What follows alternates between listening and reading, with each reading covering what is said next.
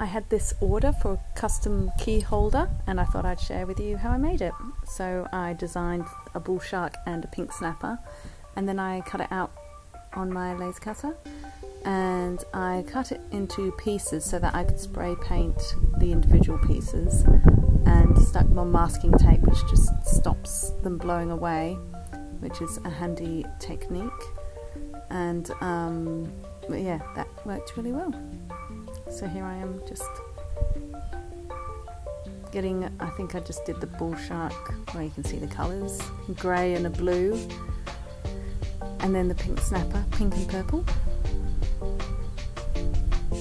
I just used some plywood which I stained with a walnut stain and then just this is me just giving it a varnish just to help protect the stain.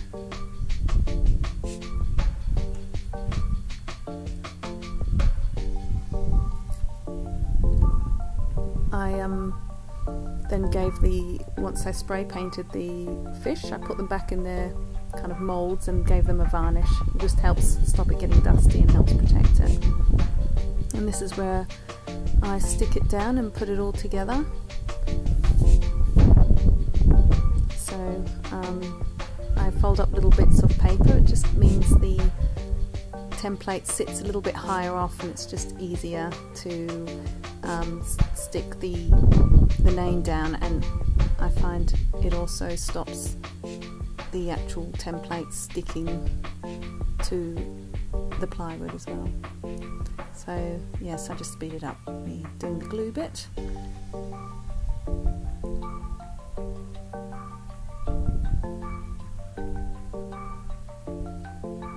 And then it just sits inside quite easily.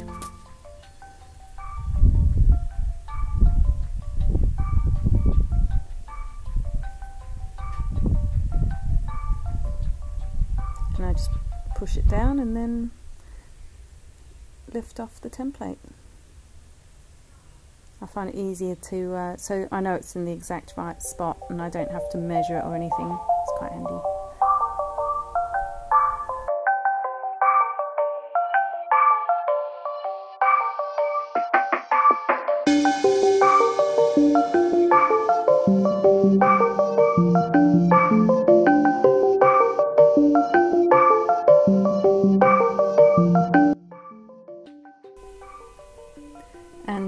This is the fun bit where I get to put the fish on. So I did a similar thing with the template. I cut it out so that it would fit the dimensions of the key holder and um, yeah and then I'm just to glue each of the individual pieces and put them into place, a bit like a jigsaw really and um, it's quite fun seeing it all come together. So this is the bull shark I do first. There's actually not many pieces, I just did, you know, obviously one piece for the top and then the blue I did underneath and then just the fins and it worked quite well even though some of it was a bit small it seemed to work quite well.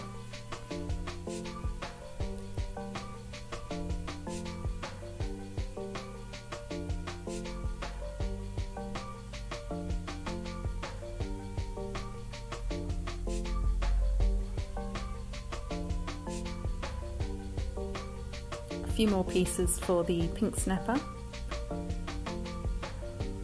but that all fits together nicely. I ended up doing, yeah, just the purple worked well as the shadow I think, worked well for the fins.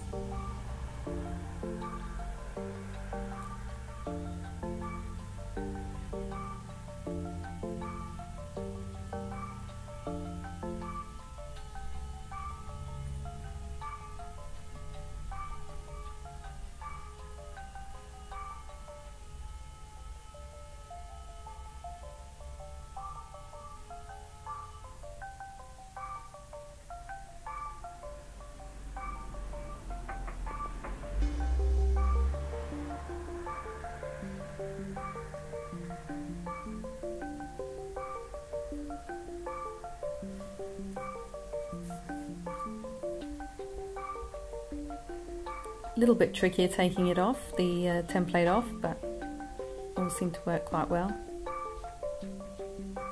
though I didn't realise at the time and actually the fin had come away as well so I've um, ended up just sticking it back on and I also put weights on, uh, well heavy books and weights to just really make sure the fish and the name stuck down well. So the frame was pretty simple to put on, just measured it, made sure it was flush to the edges and I thought white was good, went with the name. Kind of a nice border, nice contrast with the dark walnut. And just sticking the bit where the actual key holder hooks are going to go. So I just stuck that on the bottom, which was pretty easy. I did put weights on that as well, that area, and just to make sure it, it stuck well. And then easy just chucking in the key holders just some little white ones. I just twisted them in.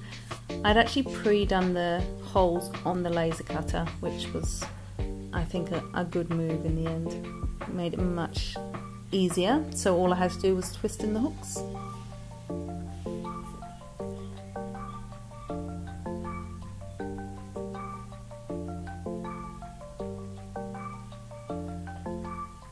hooks were white as well which I thought went well with the border and the name.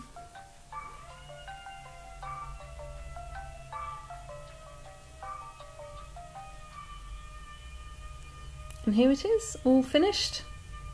It's uh, 40 centimeters by 20 and yes they were very happy with it and they said they were blown away by it so I was very happy with that comment.